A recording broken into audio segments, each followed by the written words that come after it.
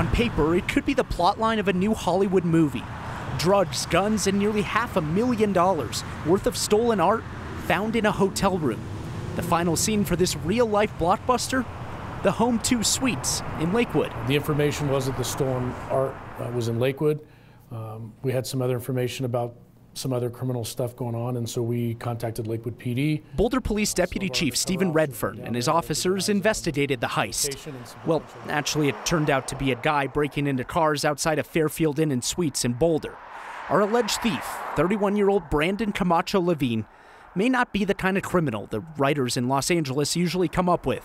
In fact, investigators don't even think he was targeting the art when he broke into a truck while the expensive pieces were being shipped across the country. We're not even sure the person really understood the value of, of what uh, what they'd stolen. I was told initially that the, when we took the report, they estimated the value of the stolen art to be around $400,000. Camacho Levine was at the hotel in Lakewood this weekend. His arrest affidavit shows he had guns, 2,000 fentanyl pills, and that valuable art when a group of people came to the room.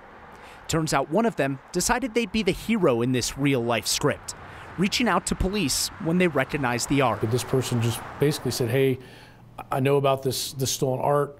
I can tell you where it is. Uh, you probably want to come down here um, because there's other stuff going on too. Police showed up soon after and found everything. We were making dinner and uh, yeah, it became a little dance party. Colleen Fanning is the art advisor to the owners of the valuable paintings.